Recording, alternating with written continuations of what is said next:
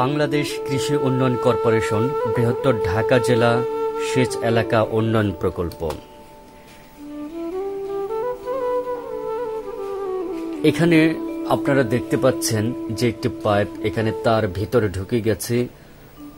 পানির অনেক গভীরে মোটর রয়েছে। সাধারণত মোটর থাকে মাটির উপরে, ফ্লোরের উপরে মোটর থাকে, কিন্তু এই প্রকল্পে একটু আলাদা, ভিন্ন ধরনের পানির নিচে মোটর মোটর নিচ থেকে প্রেশার দিয়ে পানি উপরে তুলে। বিদ্যুতের সংযোগে এই মোটর চলে। আপনারা দেখতে পাচ্ছেন একটি সুইচ বোর্ড। এখানে নিচে আপনারা দুটি মিটার দেখতে পাচ্ছেন উপরে এবং নিচে বেশ কিছু সুইচ দেখতে পাচ্ছেন। নিচে সবুজ সুইচ চালু দিলেই, সুইচ দিলেই একটা মোটর চলবে, মিটার উপরে উঠে গেছে, আপনারা দেখতে পাচ্ছেন। মিটারে কাটা উপরে উঠে গেছে। আমরা দেখতে পাচ্ছি পানি পাইপ দিয়ে বের হচ্ছে।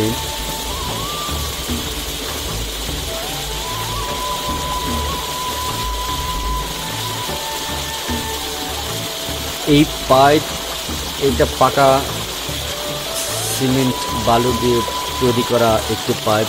এই পাইপ ধরে পানি যখন প্রেশার দিবে, তখন নিচের দিকে দুটি পাইপ রয়েছে। যে পাইপ দিয়ে মাটির অনেক নিচ দিয়ে, কমপক্ষে পাঁচ থেকে দশ ফিট মাটির নিচ দিয়ে পাইপ চলে গেছে আবাদ করা জমির মধ্যে। সেখানে পাইপ রয়েছে, সেই পাইপ দিয়ে আবার পানি উপরের দিকে উঠে জমিতে পানি চলে যায়। দেখতে পাচ্ছেন,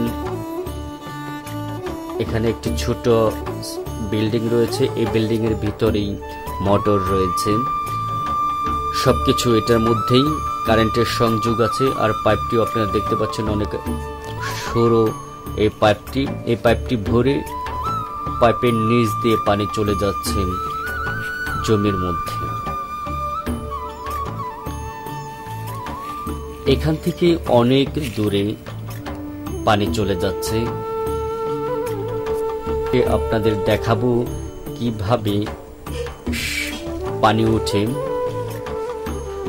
আপনাদের আগেই যে ঘরটির যে বিল্ডিং দেখিয়েছি, সেখান থেকে পানি এখানে চলে এসেছে। সূর্য ডুবো ডুবো বাব এখানে যে পাইপটি দেখতে পাচ্ছেন, পানি অবার হয়ে গেলে পাইপ যেন না ফাটে, নিচের পাইপগুলো, সেগুলো এই পাইপদের জন্য পানি বের হয়, সে ব্যবস্থা রয়েছে। আপনারা দেখতে পাচ্ছেন, ড্রেন দিয়ে পানি চলে যাচ্ছে আবাদ করা জমিনে। আপনাদের আজকের ভিডিওতে আপনাদের বিস্তারিত দেখাবো কীভাবে পানি ওঠে এবং কৃষিকাজে অল্প খরচে সহজভাবে পানি দেওয়া যায়, সেচ দেওয়া যায়। আপনারা দেখতে পাচ্ছেন কি সুন্দর ধান ক্ষেত। এই প্রকল্পের জমি রয়েছে আড়াইশো থেকে তিনশো বিঘা। আমরা এখন এক পাইপ থেকে অন্য পাইপে চলে যাব। আনা মাঠেই এই রকম বিভিন্ন জায়গায় পানি ওঠার জন্য পাইপ রয়েছে। আমরা সামনে একটি পাইপ দেখতে পাচ্ছি সেইখানে চলে যাব সেখানে দেখব কীভাবে পানি ওঠে। দুই পাশে সবুজে ঘেরা ধান ক্ষেত কি সুন্দর দেখাচ্ছে প্রাকৃতিক পরিবেশে সবুজ ঘাসে ভরা একটি রাস্তা। আপনারা দেখতে পাচ্ছেন ধান অনেকটা বের হয়ে গেছে। অল্পের মধ্যেই ধান পেকে যাবে। আমরা প্রায় চলে এসেছি সেই পাইপটির কাছে এখানে লেখা বিএডিসি বিএডিসির প্রকল্পের। এখন আমরা এই পাইপটি হাতের সাহায্যে ছেড়ে দেখব পানি নিচ থেকে কতটা প্রেশার দিয়ে ওঠায়। দেখুন, আপনারা দেখুন ঝর্নার মতন, ফোয়ারার মতন ফোয়ারার মতন নিচ থেকে পানি কত সুন্দর ভাবে কত সুন্দর পদ্ধতিতে কৃষি জমিতে ধান খেতে পানি দেওয়া যায়। কৃষকদের জন্য খুবই সহজ হয়ে গিয়েছে। পানি দেওয়া, আপনারা দেখতে পাচ্ছেন। এখান দিয়ে ড্রেন দিয়ে চলে যাচ্ছে জমিতে। আমরা মূল যে পানি ওঠার ঘর সেখান থেকে অনেক দূরে চলে এসেছি।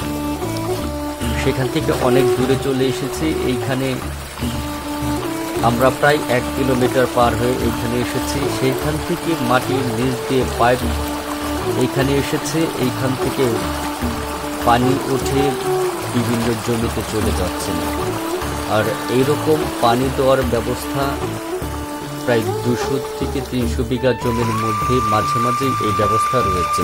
আর যেখানে পাইপ, নিচে পাইপ নেই, সেখানে এই কাঁচা মাটির তৈরি ড্রেন রয়েছে। আমরা অনেক সুন্দর একটি প্রকল্প দেখলাম যে প্রকল্পে কৃষকের জন্য খুব সহজ হয়ে গিয়েছে পানি দেওয়া। বিদ্যুতের সাহায্যে এই মোটর চলে। অল্প সময়ে অনেক পানি দেওয়া যায়, কারণ যে পানি ওঠে, সে পানি খুবই খুবই উপযোগী কৃষিকাজের জন্য।